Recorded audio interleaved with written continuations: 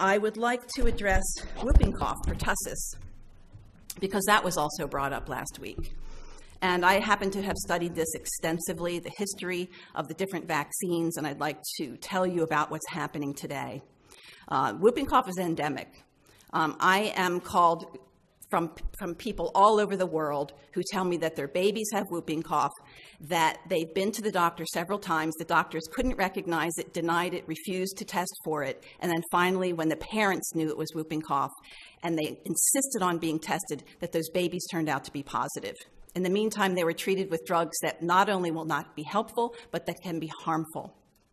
What's happening today, again, in the old days, before the, um, we had a different vaccine. Um, let me start to pre vaccine. Pre vaccine, adults developed very strong immunity at the lung interface. And I can get to that in a minute, but there's a peer reviewed article by Warfel from 2014 that was done on baboons who show the similar um, type of cough and immunity to humans, which showed basically that if you don't have that strong immunity at the lung interface, that even if you're vaccinated, you're likely to be the person that's spreading disease asymptomatically. But pre vaccine, these adults experienced the disease and they developed very strong immunity and limited the spread. Then the first vaccine came along. It was a whole cell vaccine, meaning it was the entire bacteria that was killed and put into the vaccine and injected. Um, it had um, thimerosal in it and aluminum in it. It was very reactogenic. There were major problems that were happening with that. Vaccine companies went out of business. Connaught went out of business with, uh, with that vaccine. And it was um, basically replaced by the vaccine that we have today, which is a cellular vaccine, which means that there are just some parts of, of the bacteria in the vaccine. So the, the good news about that is that it's less reactogenic, meaning that there are far fewer pr- problems with it, but there are still significant problems if you look at VAERS. Um, but that it creates something called original antigenic sin. And I didn't create this term, this is an immunologic term uh, that indicates that your first experience with, with an infection or with the vaccine will predict your response to later exposures. And that can actually be a detrimental thing or a helpful thing. If your first exposure is, is an acellular vaccine, this has been proven by Cherry, who is, a, who is one of the um, foremost writers on this issue for the past two or three decades, peer reviewed medical journals, showing that people that are vaccinated don't respond to a toxin that the bacteria creates called adenylate cyclase toxin. It basically creates a force field that fools the body.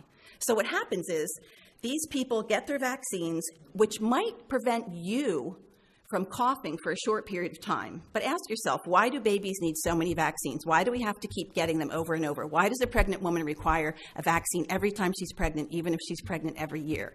It's because of this phenomenon that the vaccines, while they might prevent you from coughing for a short period of time, will not actually prevent you from spreading the disease. And moreover, that if you're if you're exposed to the bacteria later, you are the person that's more at risk for having a very serious case of whooping cough if that vaccine is not protecting you the way it is designed to. Uh, the evidence for that is uh, with Warfel that I talked about earlier, and also Dr. Cherry has written about this, that the people that are vaccinated, their immunity begins in the blood and not on, in the lung surface. The bacteria comes in through the lungs. And so you want the battle to take place at the lung surface, and that's what happens with natural immunity. So let me just tell you the difference between these two baboon types they, they, they looked at baboons that had never been vaccinated and, and they gave them uh, the disease, whooping cough. Then they took some that were vaccinated with the vaccine that we use today. And they compared them after re exposure. And what they found is that the, the baboons who had been vaccinated with the, with, the, um, with the vaccine that we use today had very high colony counts of bacteria in their lungs, even though they weren't coughing when they were re exposed. The baboons who actually re- were recovered after whooping cough and then re exposed had no bacteria in their lungs. So that's one of the problems with today's vaccine. But the other problem is, and this is written about in the CDC's website, it's very widely published, nobody wants to talk about it, but mutant strains have come have been born out of vaccinated populations. Just like bacteria mutate and become superbugs, the same thing has happened in a big way with pertussis vaccines. It's a major problem. It's written about worldwide. There's pertactin, pertactin, which is an antigen on the bacteria. Is not on some of the bacteria that are now these mutant strains. They're producing more toxin. It's much more vicious. We're seeing definitely worse cases of whooping cough, and these strains. It's documented medical literature have come out of vaccinated populations, not unvaccinated populations. They don't find them there.